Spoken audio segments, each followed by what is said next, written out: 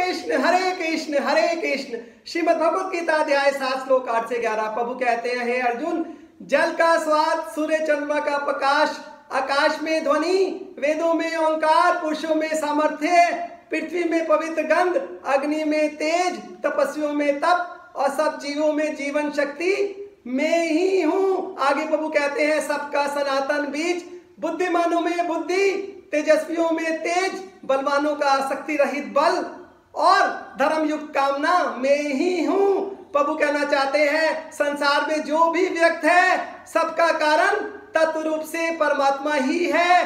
सब कुछ परमात्मा है, सब कुछ परमात्मा से हो रहा है। जय श्री कृष्ण।